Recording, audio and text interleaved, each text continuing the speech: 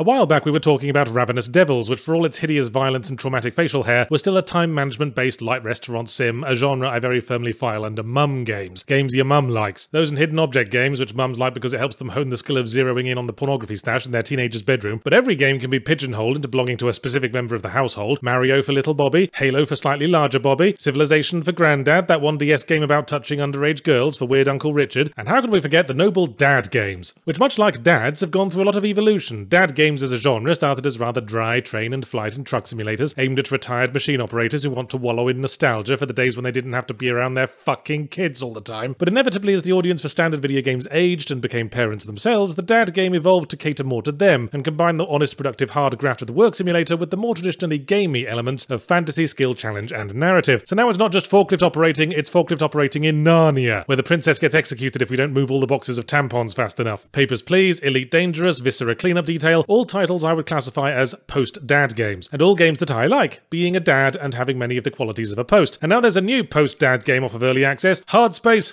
Shipbreaker. Oh, been a while since I brought the dry heave out. What the fuck was wrong with Shipbreaker by itself as a title? It's a game about breaking ships, it's not a game about spacing hards. Anyway, Hard Space Ship... Ugh. Look, I don't want to half, but I feel like I could arrange all the elements of this title in random order and it would have exactly the same effect. Alright, alright. Break Hard Space Shipper is a first-person space physics game about being a worker in a space junkyard whose job is to use their cutting and grabbing devices to split up derelict spacecraft into their component bits and drop each bit into their designated processing chutes. The core gameplay is basically peak dad game because it's most reminiscent of putting away all the Lego after your little snot chuggers got bored and ran off to the back garden to rub gravel into each other's eyes. But there's a lot more to it than that. I mean, if you just want to sort shit, download one of those free mobile games where you spend one minute putting coloured balls in order for every five minutes spent watching ads for other identical games about putting coloured balls in order. You have to do it while keeping an eye on your fuel and oxygen meters, making sure to handle the volatile components of each ship without blowing yourself and your Christmas bonus to atoms, and spend the whole time wrestling with your thruster controls as you maneuver yourself around hard vacuum, trying not to let yourself drift into one of the processing chutes, because the only processing chute you belong anywhere near is one with a comfortable toilet seat on top and a few bottles of Jack Daniels in convenient arm's reach. Oh, and there's a hard time limit on each shift, and if you haven't done enough work, you don't earn enough money to pay off the massive debt you owe to the evil hypercapitalist corporation that owns your pimply overworked bum and every toilet seat it aspires to sit upon. But they can't be that evil, because every workday's only about 15 minutes long. Well, maybe it takes four hours to take the spacesuit on and off. All of which adds a certain spice to the dad game workaday doldrums. The one thing usually absent from the Zone Out podcast fueled a zen of something like Truck Simulator is the knowledge that you're never more than three seconds from dying hideously in a burning overturned wreckage. So while Hardship Facebreaker can be very zen as you carefully carve up someone's once beloved joyride, with the non-judgmental infinity of the cosmos stretching away above and below you, every now and again you zone out just a bit too much, stop paying attention, and blowtorch a fuel line, or tank an accidentally accelerated fragment of hull to the chops and smash your helmet, forcing you to weigh up if it's even worth trying to sprint to the repair station while your eyeballs are flopping around outside of your face like you're a cartoon wolf looking at a sexy lady. And I'm all about this. Finishing an entire room in Viscera cleanup detail was nice, but I'd have felt even more of the satisfaction of a job well done if there'd been a possibility of completely fucking up. Like if there was a chance I could slip on a hitherto unnoticed kidney and impale my eye socket on the mop handle. So successfully meeting all the targets on a single ship is actually a challenging goal to strive and improve for. This is definitely one of those unwindy games for listening to podcasts to, but not for the first time. I'm disappointed by a podcast game not realizing it could easily have provided the podcast, at least for a while, because there is a story,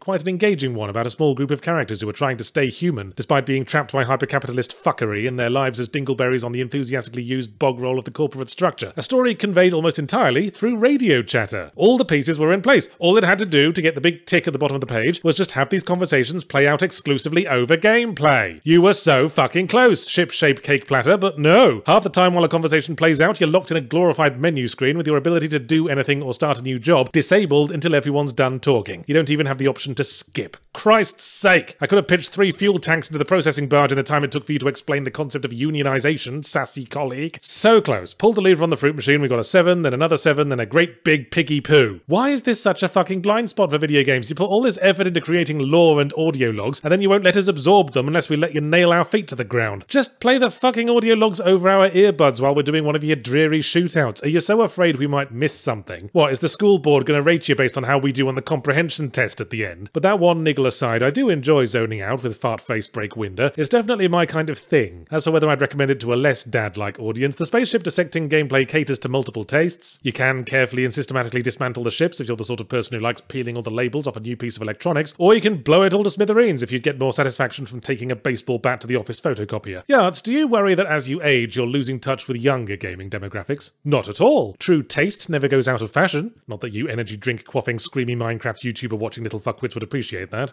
Thank